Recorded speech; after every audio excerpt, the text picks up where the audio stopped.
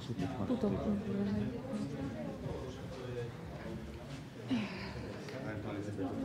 To už netreba, že? Niekedy nás to kritizuje, že nemáme rozostupy. No, Jančuška, Hudečková, Pechán, Šimková, Prokopová, Bárta, Prosím? Krupulka, Láska. Áno, a je to Jandre? Není. Oni za koľko? Nie. Tak ja tam sa. Kalavska tu není. 啊。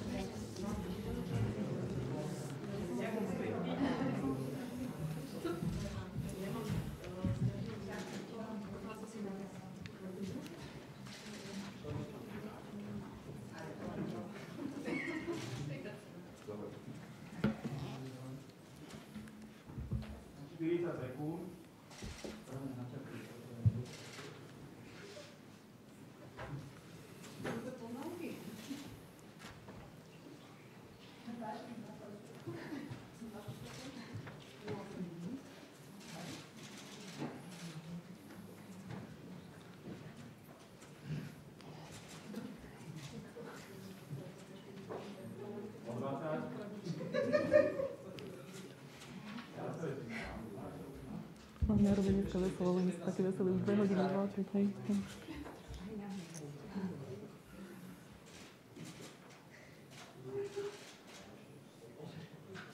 Pekný deň, radi by sme sa s vami podelili o aktuálne informácie, tento raz zo zdravotníctva. Téma je zdravotníctvo opäť začína fungovať naplno.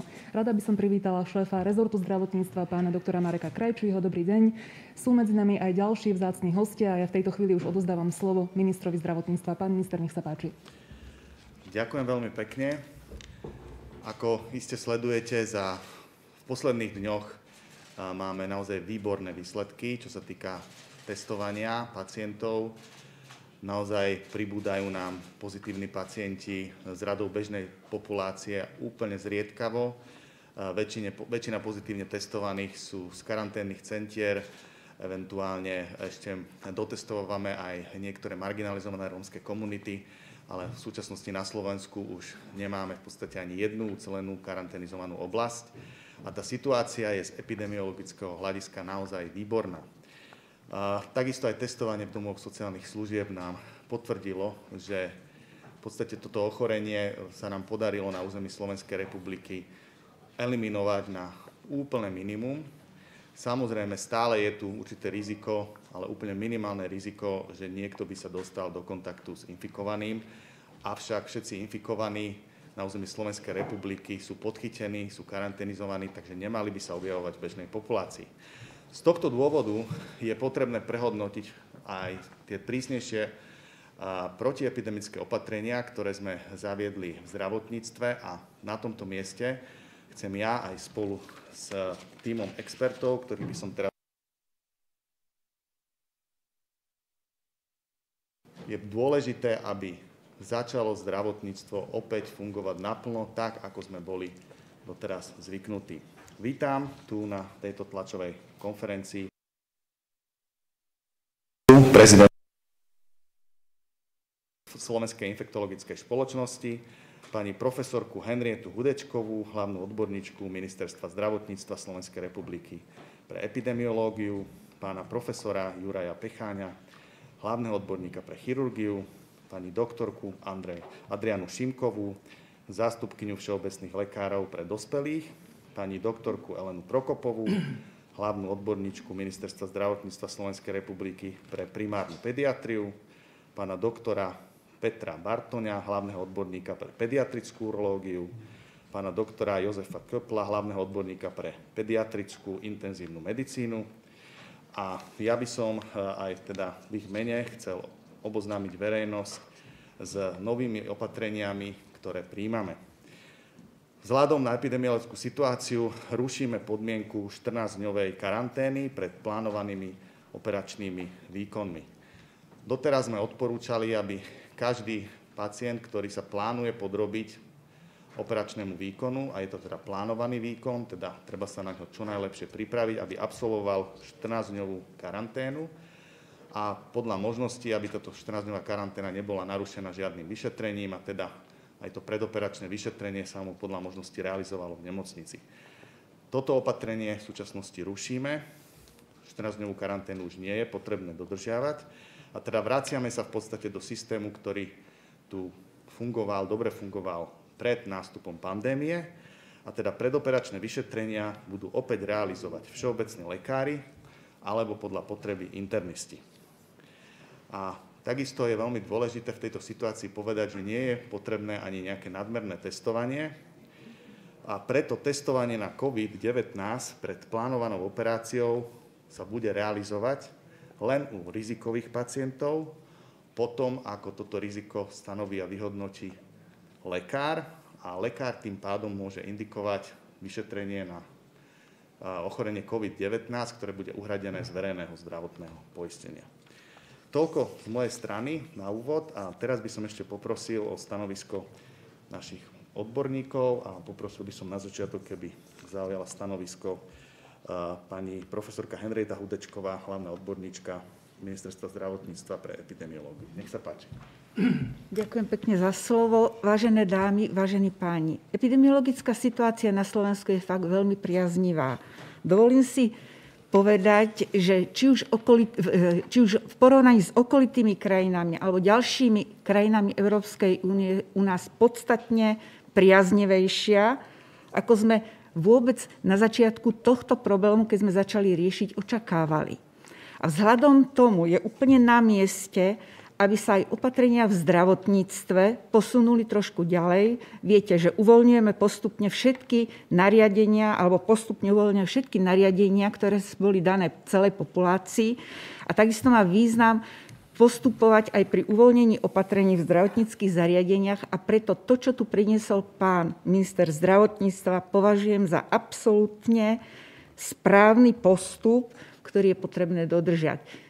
Jasné je na nás a vlastne na všetkých nás, aj na vás, aj na celej populácii, aby sme si túto dobrú epidemiologickú situáciu udržali.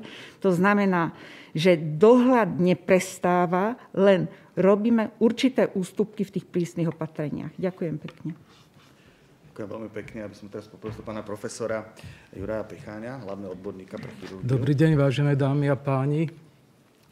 Táto priaznivá situácia a priaznivá situácia aj v nemocniciach nám umožňuje, ja to trošku obrátim chirurgovia, my sme na konci toho reťazca, keď pacient ide na operáciu, zjednodušiť pacientom život a prístup k operáciám, ktorých niektoré boli doteraz odkladané z týchto dôvodov. Čiže my sme sa jednoznačne stotožnili s týmito navrhovanými opatreniami, ktoré zjednodušia realizáciu predoperačných vyšetrení i samotných operačných zákrokov v nemocniciach.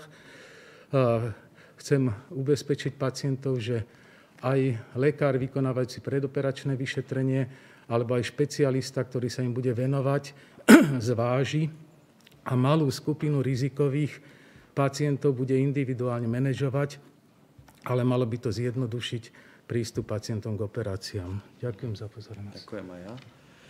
Ešte by som poprosil eh, pani doktorku Adrianu Šimkovú, ona je tu v mene alebo zástup, ako zástupkynia všeobecných lekárov pre dospelých. Dobrý deň, vážení prítomní.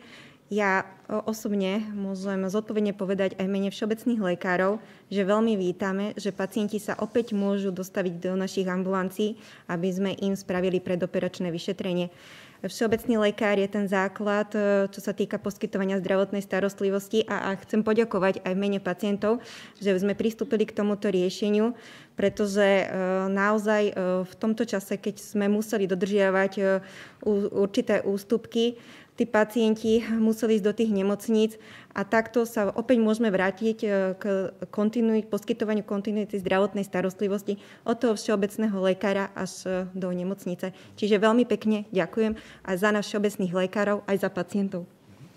Ďakujem veľmi pekne. Ešte by som poprosil pána doktora Jozefa Kopla, hlavného odborníka pre pediatrickú intenzívnu medicínu, e, keby nám mohol tiež povedať svoje stanovisko v mene teda anesteziologov. Ďakujem. Príjemný dobrý deň všetkým želám.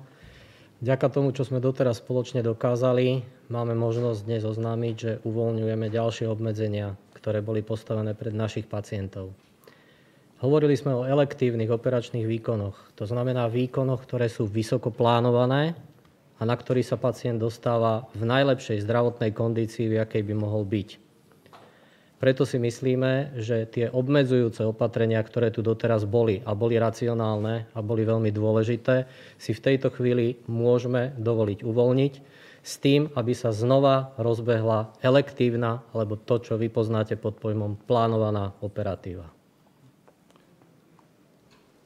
Ďakujem veľmi pekne.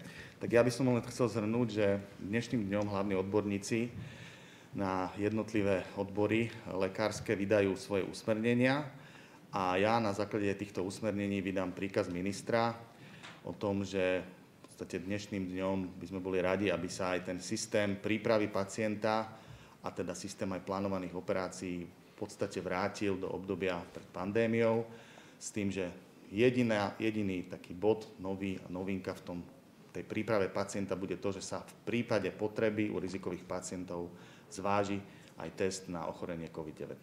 Ďakujeme veľmi pekne, nech sa páči vaše otázky. Nech sa páči teatri. Dobrý deň, Lenka Ježová teatri. Tu sa bavíme o tých plánovaných operáciách. Znamená to, že tie plánované už všetky môžu byť teda postupné, pretože postupne sa povolovali aj na ministerstve zdravotníctva tie zákroky, ktoré mohli byť realizované? Viac menej v tom období od Veľkej noci mali v jednotlivých nemocniciach klinické týmy rozhodovať o prioritizácii pacientov, ktorí potrebujú byť čo najurgentnejšie operovaní, v prípade, že im boli odložené ich zákroky. Teraz verím, že to obdobie sa už trošku posunulo ďalej. Samozrejme, stále je dôležité túto prioritizáciu pacientov dodržať. A nemocnice majú na to zriadené tie klinické týmy a teda predpokladám, že na operácie budú pozývaní pacienti v tom poradí, ako ich zdravotný stav to v podstate vyhovuje. V prípade tých operačných zákrokov v prípade tých operačných zákrokov, ktoré nie sú teda ani životohrozujúce, nie sú to, nesúvisí ani s tým zdravotným stavom, napríklad estetické zákroky, tie nebudú môcť byť stále povolené? Estetické zákroky? Napríklad. Sú to tiež operácie, ktoré postupujú ľudia, ale nie sú to s nejakou takouto prioritou. Iba tak vyslovene, že či môžu aj oni fungovať alebo nie. Ja by som možno v tejto situácii poprosil, nech sa páči pána profesora, možno aj pani epidemiologička, aby sa vyjadrila. Viete, že nie je to ošetrené nejakým nariadením, ale v odporúčaniach alebo v takej komunikácii medzi odborovými stále sme tieto estetické zákroky a určitá časť odložiteľných zákrokov, čo sú napríklad krčové žily, keď nie sú komplikované, tak sú odložiteľné, sme ešte smerovali na jeseň. Je, ja použijem iba ilustráciu, že je, dajme tomu, e, operácie žlčníka, ktoré boli odložiteľné, ale tam sa môže opakovať záchvat. V tej medicínskej hierarchii je to, je to trochu akutnejšie. Čiže my sme odporúčili v okruhu našich pracovisk, aby samozrejme podľa poradovníkov čakaní, ale aj tento medicínsky aspekt upresnili. My nevieme za jún alebo aj v najbližších mesiacoch všetko dohnať. Eh, čiže asi týmto spôsobom, ale poznajú situáciu v slovenskom zdravotníctve, keď by nebola nejaká neočakávaná intenzívna druhá vlna, my do konca roku všetky resty vieme ako kapacita chirurgických pracovisk umožňuje ako, ako všetky resty vymazať. Pán minister, ak ešte môžem, ministerstvo hospodárstva navrhuje zrušiť pracovnú zdravotnú službu pre zamestnancov prvej a druhej kategórie. Či s tým súhlasíte, lebo dôvodom je zjednodušenie podnikateľského prostredia, že či to má teda väčší význam ako prevencia ochorení? Áno, ďakujem pekne za túto otázku. Ja som dostal informáciu, že táto téma bude ešte predmetom rokovania koaličnej rady a po tomto rokovaní by sme nás potom informovali, akým spôsobom sa rozhodneme postupovať v tejto téme. A váš názor osobný? Môj názor je, že zdravie občanov a teda aj zamestnancov vždy musí byť na prvom mieste. Potom je to odborná debata, či eh, v niektorých situáciách sa dá zjednodušiť zamestnávateľom eh, v rámci tejto pracovnej služby zjednodušiť ich postup pri príjmaní zamestnancov. Avšak môj názor je, že zamestnanci napríklad v tej druhej skupine, pokiaľ sú na rozhraní druhej a tretej skupine, tak jednoznačne by potrebovali mať tieto vyšetrenia aj toto sledovanie a uvidíme vlastne, akým spôsobom sa k tomu postavia odborníci a teda aj potom koaličná rada. Ďakujem. Ďakujem pekne RTVS, nech sa páči.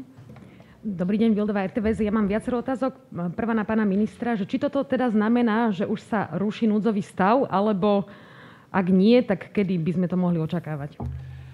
Ja som možno čiastočne čakal túto otázku. To, či bude zrušený núdzový stav, samozrejme nebude posudzované po konzíliu s expertmi, ale na ústrednom krízovom štábe alebo teda na potom následne na vláde. A osobne si myslím, že núdzový stav e, nie je vyhlásenie mobilizácie. To znamená, samotný núdzový stav v podstate všetko udržuje v status quo alebo v tej situácii, v ktorej sa teraz nachádzame. Je tam len tá možnosť, že v prípade, že by nám nastúpila druhá vlna a že by sa nám teda rapidne začalo narastať počet ochorení a postihnutých pacientov a bolo by treba začať nejakým spôsobom viac vymedzovať červené zóny a organizovať tu klasické poskytovanie zdravotnej starostlivosti práve v smere na zameranie sa na pacientov, ktorí budú postihnutí ochorením COVID-19, tak nám potom umožňuje mobilizovať niektoré zložky v zdravotníctve, aby sme zvládali túto situáciu. Takže je to určite na zváženie, ale momentálne teraz ešte, či bude alebo nebude zrušený núdzový stav, vám neviem povedať. Ďakujem teraz na pána Pechania. Ak by mohol možno porovnať, okolko sa zvýši tá operatíva, koľko zákrokov bolo robených teraz počas tohoto stavu a koľko očakávate, že sa bude vlastne robiť po novom? E, pokiaľ ja momentálne pôsobím na Národnom onkologickom ústave, tam sme znížili iba o ani nie 5% My sme brali onkologické ochorenia ako neodkladné, čiže je veľmi veľká paleta. Sú nemocnice, ktoré napríklad boli určené ako červené nemocnice, kde to kleslo operatíva možno až na 20% Pardon, ale pri takej zhruba 4 tisíc operácií ročne, musím povedať, že, ja som, že teraz už sa chirurgické obory atomizovali, že zvlášť sú ortopédi, zvlášť sú traumatológie, zvlášť, takže tie čísla nepoviem presne, ale zhruba odhadujeme, že 1,5 mesiaca sa išlo na 50-percentný výkon. Nepoviem vám absolútne čísla, to Národné centrum zdravotných informácií až potom vyhodnotí. Takže e, asi tak by som to odhadol, že 6-týždňový 50-percentný pokles. Ďakujem. A ak ešte môžem aj na pani doktorky aj všo, za všeobecné lekárstvo pre dospelých aj e, pre deti, že či teda ešte budete mať nejaké obmedzenia v rámci ambulancie, alebo už všetky výkony budete môcť e, vlastne robiť naplno? Ďakujem veľmi pekne za otázku. Samozrejme, my máme štandardný postup vypracovaný pre usmernenie poskytovanie zdravotnej starostlivosti v ambulancii všeobecného lekára. Uh, už teraz ho plánujeme aktualizovať. Samozrejme, preventívne prehliadky už uh, vykonávame, vybavovanie sú pacienti na fyzický kontakt. Teraz ideme uvoľniť, čo sa týka aj očkovania, uvoľňujeme, uvoľníme aj tieto predoperačné vyšetrenia, nakoľko sme postupovali podľa platného klinického protokolu. Čiže môžem zodpovedne povedať, že teraz tento postup sa bude aktualizovať a všeobecní lekári budú informovaní. No, za primárnych pediatrov v podstate práca v ambulancii primárneho pediatra už teraz beží v podstate tak ako inokedy, ako pred pandémiou, s tým rozdielom, že stále sú dodržiavané určité protiepidemické opatrenia a tie protiepidemické opatrenia určite ešte zachováme. Nie je to um, preto, že by sme nejak chceli obmedziť pacientov, práve naopak. Uh, chceme ich chrániť a chceme, chceme urobiť aj to, aby tí pacienti s respiračnými infektami a podobne sa čo najmenej kontaktovali v našich ambulanciách. Vykonávame kompletne celú kuratívu, preventívnu činnosť, pediatri robia všetky očkovania, predoperačné vyšetrenia, nakoľko pediatri sú vlastne internisti v teréne. Robili sme ich už odkedy pán minister e, uvoľnil elektívne zákroky. Takže e, v podstate rodičia uvidia len ten rozdiel, že pokiaľ sa dá, aby telefonicky kontaktovali pediatra pred vyšetrením a dohodli sa s ním na termíne a na tom, čo potrebujú a podľa toho im bude pridelený čas a budú vsadení do tej činnosti ambulancie. Ďakujem pekne, nech sa páči, Denigen. Dobrý deň, Fontová Denigen. Pán minister, vy ste povedali, že od dnes platí toto nariadenie. E, to znamená, že odkedy by mohlo, mohli byť už predoperačné vyšetrenia u všeobecných lekárov napríklad rozbehnuté naplno? A akým spôsobom budete kontrolovať, či naozaj napríklad všeobecní lekári pre dospelých budú robiť tie predoperačné vyšetrenia, alebo teda internisti, teda či to príde naozaj do praxe? To bola prvá otázka. Ďakujem pekne. E, v podstate bude to platiť buď od dnes, alebo najneskôr od zajtra. Objaví sa na webovej stránke ministerstva usmernenie pre jednotlivé odbory a ja potom na základe toho vydám príkaz ministra. Ale viac menej môžem povedať, že už dnes eh, lekári eh, aj na základe tohto môjho prístupu môžu realizovať tieto preventívne prehliadky. Ono, úprimne poviem, že tým, že sa veľa vecí menilo teraz a bolo treba veľmi intenzívne sledovať zmenu aj tých metodických pokynov, tak mnohí naozaj si myslím, že sa ešte aj nedostali kvázi do tej zmeny a pokračovali v tom štandardnom móde, tak chcem povedať, že môžu ďalej pokračovať v tom móde ako, ako doteraz. A ešte by som mala jednu otázku na špecialistov ambulantných. E, niektoré nemocnice vlastne až neskôr otvárali alebo ešte nepovolili otvorenie ambulancií špecialistov v nemocniciach. Či máte takéto informácie, že koľko percent e, ambulancií špecialistov dnes funguje, koľko ich nefunguje a či tam plánujete ešte nejaké opatrenia, aby sa teda tí pacienti vedeli jednoduchšie dostať k špecialistom, ako je tu teraz? Áno, ja som si nechal uh, zo Všeobecnej zdravotnej poisťovne poslať dáta. Nemám ich teraz presne tu, ale situácia je taká, že naozaj niektoré ambulancie špecialistov boli v podstate takmer uzavreté, zatvorené. Tých výkonov tam bolo úplne minimál, minimum.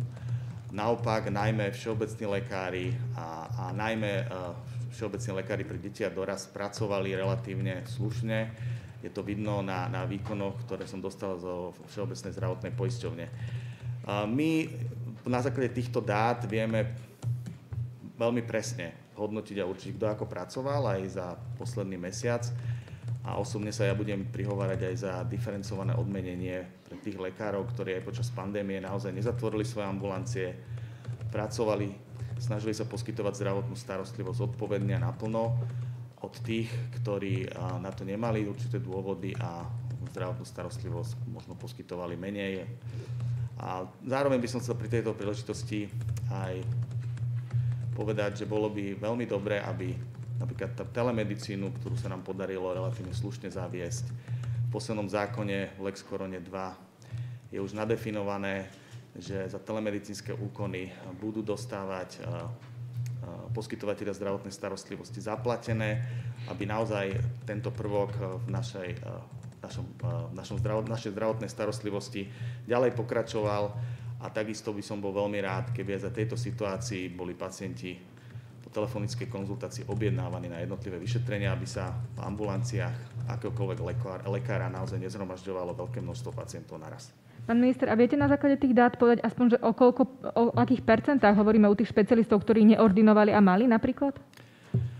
Žiaľ, nemám to teraz tu pred sebou, neviem to presne povedať. Eh, mohol by som povedať nejaké údaje, ktoré by neboli úplne presné, takže neviem sa k tomu viac. Mhm. Ďakujem pekne.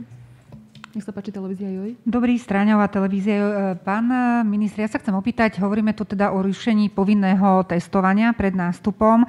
Máme tu minimálne ale anesteziologov, ktorí sa na vás obratili aj listom a hovoria o tom, že minimálne potrvanie núdzového stavu a tejto situácie, ktorá zatiaľ nebola zrušená, by privítali, keby v rámci ochrany aj zdravotníckého personálu, aj pacientov Jednoducho táto povinnosť zostala zachovaná, keďže kapacity na testovanie máme, ten počet testovaných vidíme, že klesá podľa počtu indikovaných. Vy hovoríte o tom, že len v prípade indikácie lekár odporúči testovanie, ale pri asymptomatických pacientoch to môže byť dosť problém. Nakoniec vy sám, ako i premiér ste opakovane hovorili, že stále tu môžeme mať 2000 pacientov alebo 3000, ktorí nemajú symptómy a chodia nám tu hore dole po Slovensku. Čiže z pohľadu možno naozaj bezpečnosti zdravotníckého personálu aj pacientov, neuvažovali ste aspoň do toho času plošne to testovanie nechať? Kapacity sú zjavne. Áno, ja som veľmi rád, že už tu je pán eh, profesor Jarčuška, ktorý sa k tomu vyjadrí. Potom by som eventuálne poprosil aj uh, pána doktora Josefa Kopla, ktorý tu reprezentuje aj anesteziologickú obec.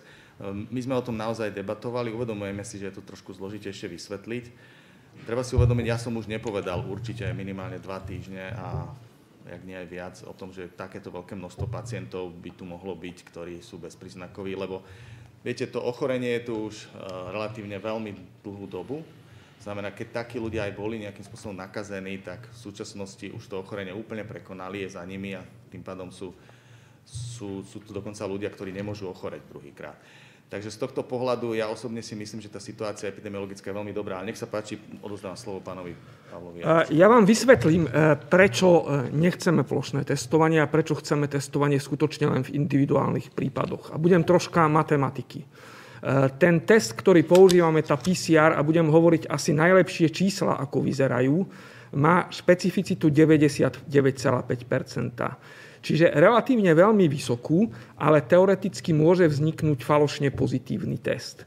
Keď si zoberiete, že na 200-250 vyšetrení by mohol vzniknúť jeden falošne pozitívny test, pri tom počte pacientov, ktorí v súčasnosti na Slovensku máme, ktorí môžu byť e, s koronavírusom, ktorý spôsobuje ochorenie COVID-19, je to relatívne vysoká šanca. Nám sa stalo, že sme kvôli falošne pozitívnemu testu museli obmedziť, kým sme to nedodiferencovali, prevádzku niektorých oddelení, ktoré sú nevyhnutné pre to, aby tá nemocnica fungovala. To je jeden dôvod. Ten druhý dôvod je, bavíme sa o elektívnych výkonoch v žiadnom období, a pochopiteľne ani nie v období koronavírusovej infekcie, nemôže prísť na, elektívne, na elektívny výkon, či už invazívny alebo operáciu, e, pacient, ktorý má príznaky respiračného ochorenia. To je jednoducho kontraindikované. Čiže tu ten dôvod odpadá. E, treba si uvedomiť, ako je ten test konštruovaný. Ak budete mať pacienta medzi dňom 1 od infekcie až po deň 3 alebo 5, bude e, ten PCR test negatívny. Hej? Čiže nechytíte ho v tom období, pričom on je vtedy infekčný. V období medzi e, dňom, dajme tomu 3 až 5 až 14, bude ten PCR test pozitívny nie u 100, ale približne u 85% pacientov. Čiže ten test, ktorý je negatívny, v podstate, keď si to zoberiete pri tom nízkom počte z matematických e, čísel, tá pozitívna prediktívna hodnota tohoto testu pre túto skupinu pacientov je relatívne veľmi nízka. A musíte si uvedomiť, že v zdravotníctve máme aj nejaké náklady. Ten PCR test by sme museli robiť, ak by sme išli na obdobie pred koronavírusovou infekciou, robí sa zhruba 5500 elektívnych výkonov e, týždenne.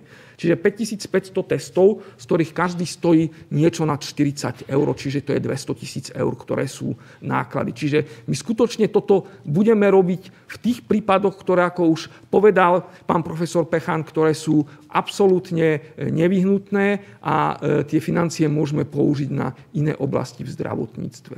A ešte chcem povedať jednu vec, že v mnohých zdravotníckých zariadeniach, našťastie na Slovensku, je taká falošné uspokojenie zdravotného personálu, keď mám negatívny test, že ja tie protiepidemické opatrenia dodržiavam vlažnejšie. A toto naozaj, napriek tomu, že máme nízke číslo, budeme musieť ešte dodržiavať dlho. Ďakujem. Presne tak. Lekári samozrejme budú stále používať ochranné prostriedky anesteziológovia majú predpísané ochranné prostriedky, ktoré musia používať, najmä pri tom, keď intubujú pacienta. A to je vlastne tá ochrana, ktorá v tejto situácii sa zdá tá najracionálnejšia a najlepšia. Ak ešte môžem na doplnenie, e, chcem sa opýtať, čo sa týka pravidel, uvoľňujeme teda operácie a podobné veci, či zvažujete ešte nejaké väčšie uvoľnenie aj pre návštevy, čo sa týka nemocnických pri pacientov, možno aj podľa toho, či ide o detského pacienta a tak ďalej. Plus e, hovoríte, že budú vykonávať predoperačné už aj všeobecný teda, aj internisti. Čo sa týka možno zástupcov aj všeobecných a primárneho kontaktu, si som sa tým pádom opäť opýtala, čo sa týka zásobenia, vybavenia ambulancií ochrannými prostriedkami, či ste spokojní, alebo ste nejak doladili naozaj, aby tí lekári, ktorí prichádzajú s týmito ľuďmi do kontaktu, boli dostatočne vždy vybavení. Začnem najprv z konca. Čo sa týka ochranných prostriedkov, tak ja som opakovane hovoril, že na, štá, na, na sklade štátnych hmotných rezerv je ich naozaj momentálne dostatok. A tie sa vyskladňujú na základe požiadaviek samotných ambulancií cez vyššie územné celky. Oni keď zadefinujú potrebu, tak ja ich v podstate potom musím podpisom uvoľňovať, robím to. Posledne som uvoľňoval, si teraz presne nepamätám, ale desiatky tisíc ochranných prostriedkov aj tej vyššej rady na mesiac. Takže ja osobne som presvedčený, že pokiaľ nedošlo k nejakej poruche na ceste tých ochranných prostriedkov do tých ambulancií, tak naozaj tie ambulancie by mali byť zásobené.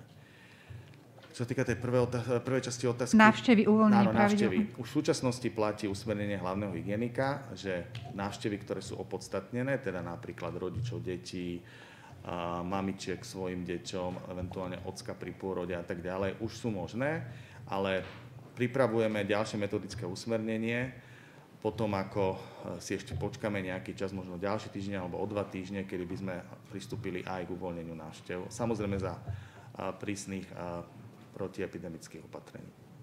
Možno teda, keď môžem ešte. Tak za všeobecných lekárov môžem povedať, že na ambulanciách tohto času už by mali byť e, lekári zásobenými ochrannými pomôckami, nakoľko nás zásobovali aj vyššie územné celky. Môžem veľmi pozitívnu informáciu povedať aj, že zdravotné poisťovne sa pripojili k tomu, aby k poskytovateľovi zdravotnej starostlivosti e, tie ochranné pomocky poskytli teda na vyžiadanie. A môžem veľmi milo povedať aj poďakovať aj e, pacientom, ktorí taktiež nejakými proste prispeli k tomu, aby ten lekár mal tie zdravotné pomocky. Takže je to, vidím, že táto situácia, ktorá vlastne bola, nás aj nejako pospájala aj medzi pacientami, lekármi, sme súdržní a vzájomne si pomáhame, čo je vlastne veľká vec, ktorá sa tu vlastne udiala.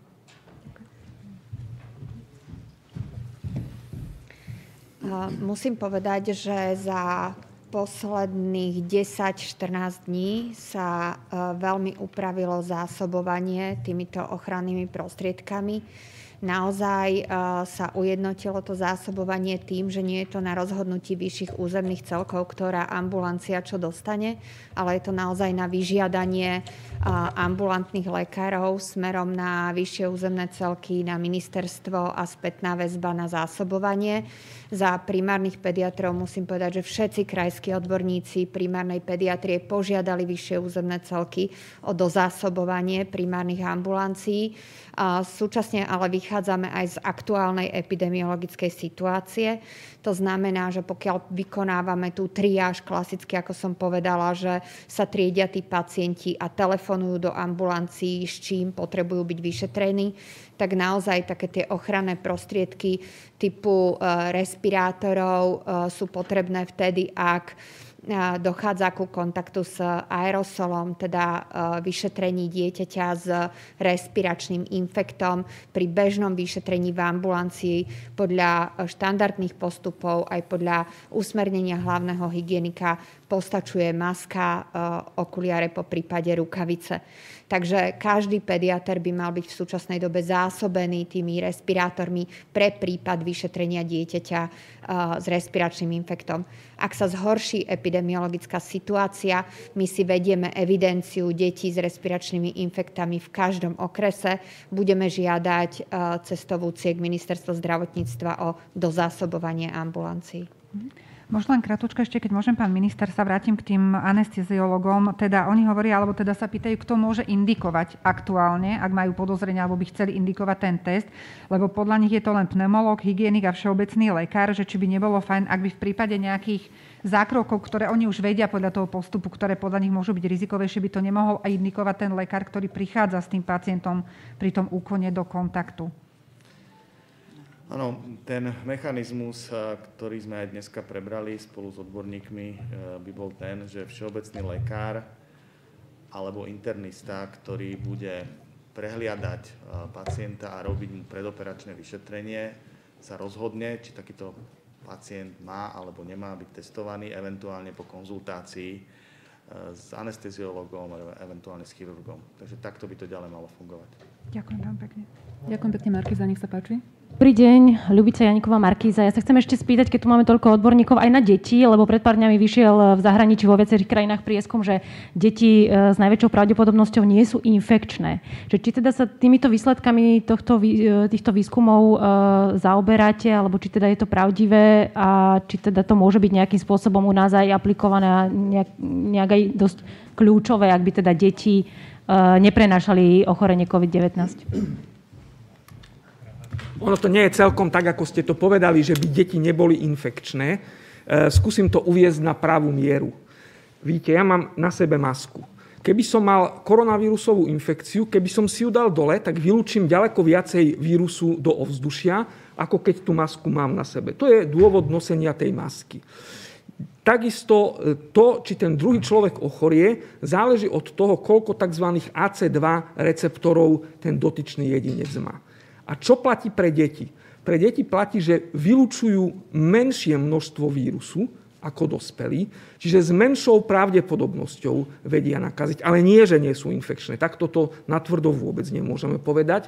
A takisto deti majú menej tých receptorov, lebo tie sa postupne vyvíjajú v priebehu veku.